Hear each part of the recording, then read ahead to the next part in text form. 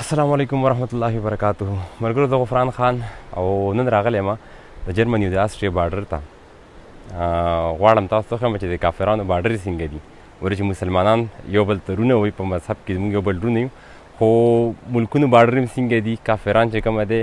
کوم دا غیر مذهب خلک دي دا اصل کې خودي چې کوم دي اسلام چې کوم دي اپناو کړی دي موږ خو چې کوم دي صرف او صرف د خلی مسلمان پاتې شو دا چې کوم ځای کې زه ولاړم دا ما یو خپه چې کومه ده په جرمني کې دی یو خپه په آسټریا کې ده داسې به تاسو ته وښیم د دې مطلب دی آسټریا د دې مطلب دی جرمني دا اړخ د جرمني د مرګرو او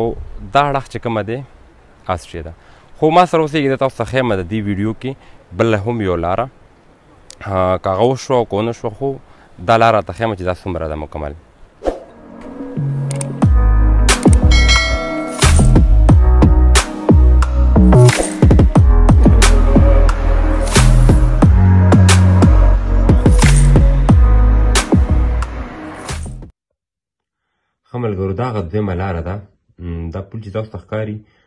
د دې پول نه هغه غاړه چې کومه د آسټریا ده دې غاړه چې دا کوم ګاډي روان دي جرمني اړخ ته روان دي خو زه صرف تاسو ته خول غواړم دې ویډیو کې چې وګورئ د مسلمانان چې کومه دی که نه موږ په خپل دین کې موږ ورونه یو خو د مسلمانانو نن سبا حالات وګوره که پاکستان افغانستان سره والي که پاکستان ایران سره والي که سعودي عرب چې کومه زمونږ خاص دغه دی زمونږ مشران دي هغه یمن سره والي ترکی چې کومه دی هغه سوریه سره وګوره مثال جوړ نه راځي مونږ په خپلو کې نښتي یو او دا خلکو د هغې ډېره غټه فایده اوچته کړه خو صرف تاسو د خول لپاره چې دا وګوره دا د کافرانو بارډرې دي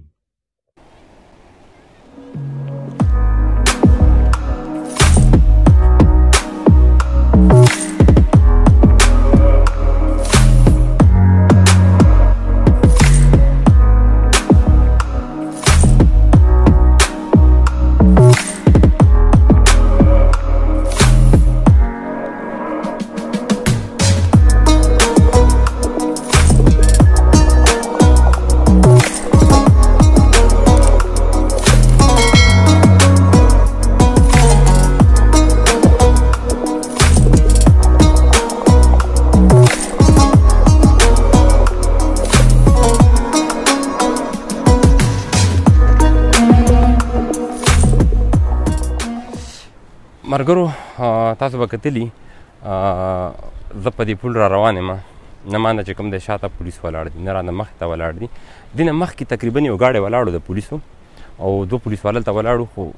زموږ چې رالو موږ خپل ما کیمره مې مرته کړه مایک مایک مې لګولو نو هغه پولیس لاړل نو دا ضرور نه ده یو ټایم کې د کنټرول لپاره پولیس هم ولاړي خو د ویډیو مقصد دا دی چې ولې مسلمان داسې شو کمنټس کې جواب راکې بل خبره چې د تیر ویډیو هم تاسو ډیره زیاته لایک کړې و ډیره زیاته مننه کوم په هغې باندې هم بله ویډیو زه کوم بس تاسو د کمنټونو جوابونه به درکوم تر هغې پورې غفران ورور دعاګانو کې یاد ساتئ انشاءالله نیکسټ ویډیو کې دوباره ملاقات کیږي والسلام